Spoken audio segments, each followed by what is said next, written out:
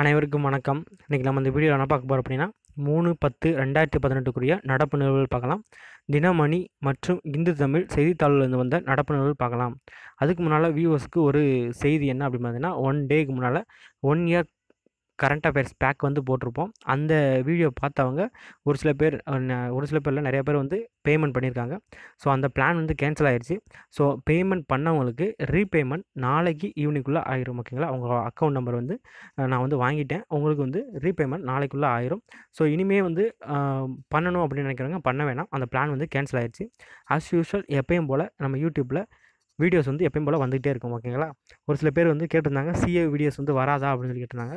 கண்டிப்பாக வரும் ஓகேங்களா ஸோ இன்றைக்கி நியூஸ்குள்ளே போகலாம் லேசர் சிகிச்சை முறைகளுக்கு முன்னோடியாக திகழும் மூன்று விஞ்ஞானிகள் இயற்பியல் பிரிவில் நிகழாண்டுக்கான நோபல் பரிசுக்கு தேர்ந்தெடுக்கப்பட்டுள்ளனர்.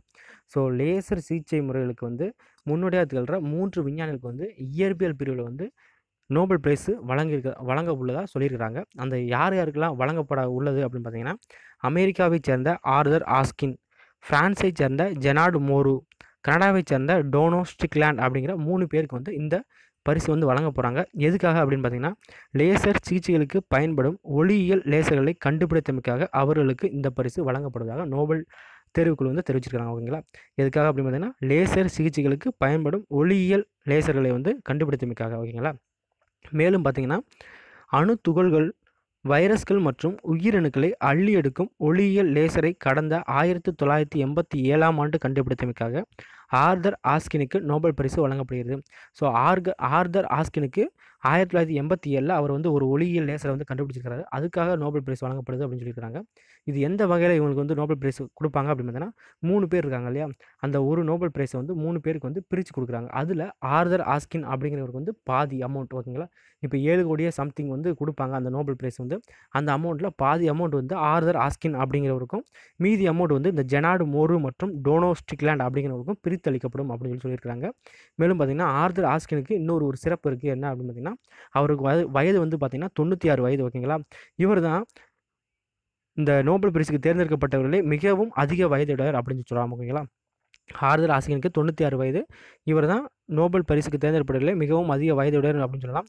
இதுக்கு முன்னால் வந்து தொண்ணூறு வயதான லியோனட் ஹூர்விச் அப்படிங்கிறவர் வந்து கடந்த ரெண்டாயிரத்தி பதினேழு ரெண்டாயிரத்தி ஏழில் வந்து பொருளாதாரத்துக்கான நோபல் பரிசு வாங்கி வாங்கியிருப்பார். இவர் தான் அதிகபட்ச வயசாக வந்துருச்சு. அதாவது தொண்ணூறு வயசு தான் அதிகபட்ச வயசாக இருந்துச்சு. இப்போ வந்து ஆறுதல் ஆஸ்கின் வந்து தொண்ணூற்றி ஆறு வயசில் வந்து வாங்குறாரு ஓகேங்களா?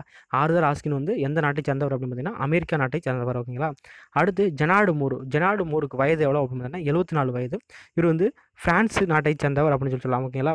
இவர் வந்து மிக சக்தி வாய்ந்த இஎல்ஐ அப்படிங்கிற லேசர் உருவாக்க திட்டத்தில் பங்கேற்றிருக்காரு அப்படின்னு சொல்லி சொல்லியிருக்காங்க மேலும் பார்த்தீங்கன்னா டோனோ ஸ்டிக்லேண்ட். இந்த டோனோ ஸ்டிக்லேண்டோட வயது எவ்வளோ அப்படின்னு பார்த்தீங்கன்னா ஐம்பத்தி ஒன்பது வயது. இவர் வந்து டோனோ ஸ்டிக்லேண்ட் அப்படிங்கிற ஒரு ஜெனாடு மோரோட ஸ்டூடெண்ட் அப்படின்னு சொல்லலாம் ஓகேங்களா? இந்த ஜெனாடு மோரோட ஸ்டூடெண்ட் தான் இந்த மோனோ டோனோ ஸ்டிக்லேண்ட் அப்படின்னு சொல்லலாம் ஓகேங்களா?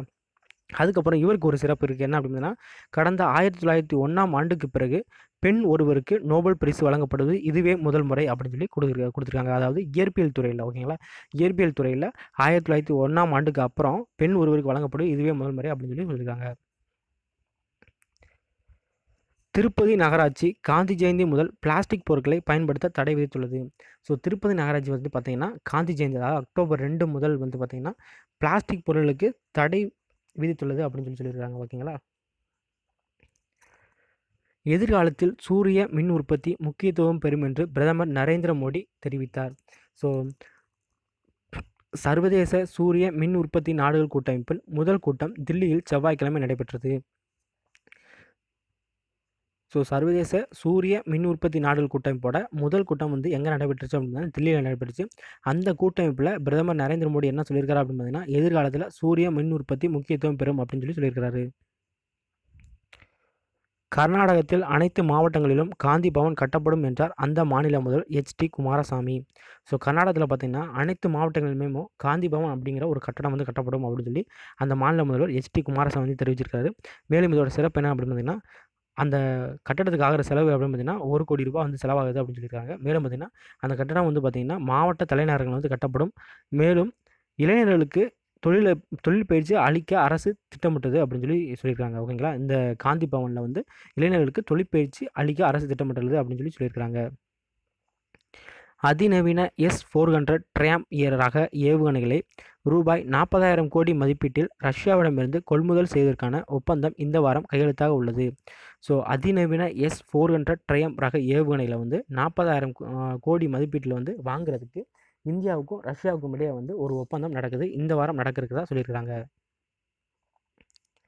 ஐநாவோட பொதுச் செயலாளராக இருக்கிற அந்தோனியா குட்ரஸ் வந்து என்ன சொல்லியிருக்காரு அப்படின்னு பார்த்தீங்கன்னா உலகில் மனிதநேய வழிகாட்டி காந்தி அப்படின்னு சொல்லி சொல்லியிருக்காரு மேலும் சில தகவல்கள் என்ன கொடுத்துருக்காங்க அப்படின்னா ரெண்டாயிரத்தி ஏழாம் ஆண்டு ஜூன் மாதம் பதினைந்தாம் தேதி ஐநா பொதுச்சபையில் கொண்டு வரப்பட்ட தீர்மானத்தின்படி ஆண்டுதோறும் காந்தி பிறந்த தினமான அக்டோபர் இரண்டாம் தேதி சர்வதேச அகிம்சை தினமாக கொண்டாடப்பட்டு வருகிறது.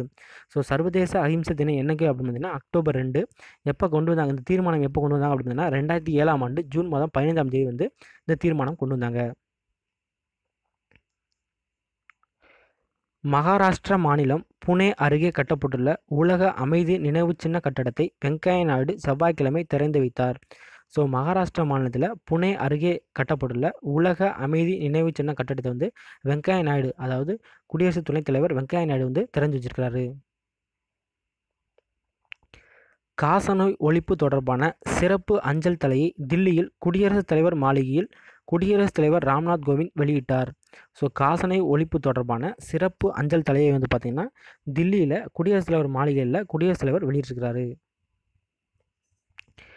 ஜகார்த்தாவில் நடைபெற உள்ள ஆசிய பாரா விளையாட்டுப் போட்டியில் இந்திய அணி தமிழக வீரர் தங்கவேலு மாரியப்பன் கொடியேந்தி தலைமை தாங்கிச் செல்வார் என அறிவிக்கப்பட்டுள்ளது. ஸோ ஜகார்த்தாவில் ஆசிய பாரா விளையாட்டுப் போட்டி வந்து நடக்க இருக்குது அந்த போட்டிக்கு வந்து யார் தலைமை தாங்கிச் செல்வா அப்படின்னு பார்த்தீங்கன்னா தமிழக வீரர் தங்கவேலு மாரியப்பன் வந்து தலைமை தாங்கிச் செல்வதா அதாவது தேசிய கொடியேந்தி தலைமை தாங்கிச் செல்வதா வந்து அறிவிக்கப்பட்டிருக்கு அப்படின்னு சொல்லியிருக்காங்க. ஸோ பிரேசில் பிரேசிலில் நடந்த ரியோ பாரா ஒலிம்பிக் போட்டியில் வந்து தங்கவேலு மாரியப்பன் வந்து தங்கப்பதக்கம் வாங்கினார். ஸோ இந்த இந்த சுச்சுவேஷனில் ஜகார்த்தாவில் வரும் ஆறாம் தேதி முதல் பதிமூணாம் தேதி வரை வந்து மூணாவது ஆசிய பாரா போட்டிகள் வந்து நடக்கின்றன அப்படின்னு சொல்லியிருக்காங்க. அதாவது ஜகார்த்தாவில் வர்ற ஆறாம் தேதி முதல் பதிமூணாம் தேதி வரை வந்து மூணாவது ஆசிய பாரா போட்டிகள் வந்து நடக்குது. இதுக்கு தங்கவேலு மாரியப்பன் வந்து தேசிய கொடியேந்தி தேசிய கொடியேந்தி வழிநடத்தி செல்வார் அப்படின்னு சொல்லி சொல்லியிருக்கிறாங்க. அர்ஜென்டினாவின் பியூனஸ் அயஸ் நகரில் நடைபெறவுள்ள யூத் ஒலிம்பிக் போட்டியில் பங்கேற்க இந்திய ஆடவர் மகளிர் ஹாக்கி அணிகள் புறப்பட்டு சென்றன. ஸோ இந்த யூத் ஒலிம்பிக் போட்டி எங்கே நடக்குது அப்படின்னு பார்த்தீங்கன்னா அர்ஜென்டினாவோட பியூனஸ் அயர்ஸ் அப்படிங்கிற ஒரு நகரத்தில் நடக்குது ஓகேங்களா? நம்மளுக்கு தேவையான ஒன்று அப்படின்னு பார்த்தீங்கன்னா யூத் ஒலிம்பிக் போட்டி வந்து அர்ஜென்டினாவில் பியூனஸ் அயர்ஸ் அப்படிங்கிற நகரத்தில் நடக்குது. மகாத்மா காந்தியின் நூற்றி ஐம்பதாவது பிறந்தநாள் கொண்டாட்டத்தின் ஒரு பகுதியாக ஓராண்டுக்குள் பிளாஸ்டிக் பயன்பாட்டை ஒழிக்க பாரத ஸ்டேட் வங்கி சபதமேற்றுள்ளது. ஸோ மகாத்மா காந்தியோட நூற்றி ஐம்பதாவது பிறந்த நாளான அக்டோபர் ரெண்டுலேருந்து என்ன பண்ணுறாங்க அப்படின்னா எஸ்பிஐ பேங்க் வந்து என்ன பண்ணுறாங்க அப்படின்னா இந்த ஓராண்டுக்குள்ளே வந்து பிளாஸ்டிக் பயன்பாட்டை வந்து முற்றிலுமாக ஒழிக்கணும் அப்படிங்கிற ஒரு சபதத்தை வந்து எடுத்துருக்குது அப்படின்னு சொல்லி சொல்லியிருக்காங்க. இந்தியா மற்றும் வியட்நாம் நாடுகளின் கடலோர காவல்படை சார்பில் நாளை கூட்டு பயிற்சி மேற்கொள்ளப்படுகிறது. ஸோ இந்தியா மற்றும் வியட்நாம் நாடுகளில் நாடுகளுக்கிடையே வந்து கடலோர காவல்படை சார்பில் நாளை வந்து கூட்டு பயிற்சி மேற்கொள்ளப்படுது அப்படின்னு சொல்லியிருக்காங்க. இது வந்து ஒரு முக்கியமான கொஸ்டின் அப்படின்னு சொல்லலாம். இதுலேருந்து கொஸ்டின் வரதுக்கு சான்சஸ் இருக்குது அப்படின்னு சொல்லலாம். ஓகேங்களா இதுக்காக கப்பல் வியட்நாம் நாட்டு கடலோர காவல்படை கப்பல் வந்து சிஎஸ்பி எயிட் தௌசண்ட் ஒன் அப்படிங்கிற ஒரு கப்பல் வந்து சென்னை வந்திருக்கு. அதுக்கப்புறம் பார்த்திங்கன்னா நாளை நடக்க போகிற இந்த கூட்டு பயிற்சியோட பெயர் என்ன அப்படின்னு பார்த்தீங்கன்னா Sahyog Hop Tac two nought one அப்படின்னு சொல்லலாம். ஓகேங்களா? Sahyog Hop Tac two nought one. இந்த நேம் வந்து நம்மளுக்கு வந்து முக்கியம். ஓகேங்களா? Sahyog Hop Tac two nought one. ஓகேங்களா? இந்தியா மற்றும் வியட்நாம் இடையே வந்து நடக்கிற பயிற்சி அப்படின்னு சொல்லலாம். ஓகேங்களா? ஸோ தின இந்தியில் பொது அறிவு அப்படிங்கிற ஒரு டாபிக் டெய்லி வரும் இன்றைக்கி என்ன கொடுத்துருக்காங்க அப்படின்னு பார்த்தீங்கன்னா இந்திய தேசிய கொடி ஆயிரத்தி தொள்ளாயிரத்தி நாற்பத்தி ஏழு ஆகஸ்ட் பதினைந்தில் டெல்லி வைஸ்ராய் ஹவுஸில் முதன் முதலாக பறக்கவிடப்பட்டது. ஸோ இந்திய தேசிய கொடி வந்து எப்போ வந்து முதன் முதலாக பறக்கவிடப்பட்டது அப்படின்னு பார்த்தீங்கன்னா ஆயிரத்தி தொள்ளாயிரத்தி நாற்பத்தி ஏழு ஆகஸ்ட் பதினஞ்சில் வந்து டெல்லி வைஸ்ராய் ஹவுஸில் வந்து முதன் முதலாக பறக்கவிடப்பட்டது அப்படின்னு சொல்லியிருக்காங்க. மறுநாள் செங்கோட்டையில் நேரு தேசிய கொடியை ஏற்றினார். ஸோ மறுநாள் அதாவது ஆகஸ்ட் பதினைந்துக்கு மறுநாள் வந்து செங்கோட்டையில் நேரு வந்து அதாவது ஜவஹர்லால் நேரு வந்து தேசிய கொடி ஏற்றினார் அப்படின்னு சொல்லியிருக்காங்க. அமெரிக்காவின் அப்போலோ ஃபிஃப்டீன் செயற்கைக்கோள் மூலம் ஆயிரத்தி தொள்ளாயிரத்தி எழுபத்தி ஒன்றில் நமது தேசிய கொடி விண்வெளிக்கு எடுத்து செல்லப்பட்டது. நம்ம தேசிய கொடி முதன் முதலாக எப்போ எடுத்து செல்லப்படுது அப்படின்னு பார்த்தீங்கன்னா அமெரிக்காவோட அப்போலோ ஃபிஃப்டீன் செயற்கைக்கோள் மூலமாக வந்து ஆயிரத்தி தொள்ளாயிரத்தி எழுபத்தி ஒன்றில் நம்ம தேசிய கொடி வந்து விண்வெளிக்கு எடுத்து செல்லப்படுது அப்படின்னு சொல்லியிருக்காங்க. மகாத்மா காந்தியின் நூற்றி ஐம்பதாவது பிறந்த நாளை உலகம் முழுவதிலும் உள்ள ட்விட்டர் பயன்பாட்டாளர்கள் கொண்டாடும் வகையில் காந்தி எமோஜியை ட்விட்டர் இந்தியா நேற்று தொடங்கியது. ஸோ காந்தி எமோஜி வந்து ட்விட்டர் இந்தியா வந்து தொடங்கியிருக்குது மேலும் பார்த்தீங்கன்னா இந்த காந்தி எமோஜி வந்து பிரதமர் நரேந்திர மோடி தன்னோட ட்விட்டர் பக்கத்தில் வந்து அதிகாரப்பூர்வமாக வந்து தொடங்கி வச்சிருக்கிறாரு. ஓகேங்களா தகவல் பெறும் உரிமை சட்டத்தின் கீழ் இந்திய கிரிக்கெட் கட்டுப்பாட்டு வாரியம் கொண்டு வரப்பட்டுள்ளது இதற்கு பிசிசிஐ கடும் எதிர்ப்பு தெரிவித்துள்ளது. ஸோ தகவல் அறியும் உரிமை சட்டம் அதாவது ரைட் டு இன்ஃபர்மேஷன் ஆக்ட் அப்படிங்கிற இந்த ஆர்டிஐ கீழே இந்திய கிரிக்கெட் வாரியத்தை வந்து கொண்டு வந்துருக்காங்க கொண்டு வந்திருக்காங்க. இந்த திட்டத்துக்கு வந்து மத் அதாவது பிசிசிஐ வந்து ரொம்ப எதிர்ப்பு தெரிவிச்சிருக்கு அப்படின்னு சொல்கிறாங்க ஏன் அப்படின்னு பார்த்தீங்கன்னா இந்த ஆர்டிஐ அப்படிங்கிற அமைப்பு கீழே கொண்டு போனால் இந்த தகவல் அறிவு உரிமை சட்டத்துக்கு கீழே கொண்டு போனால் வந்து என்ன கேள்வி கேட்டாலும் பதில் சொல்லணும் ஓகேங்களா?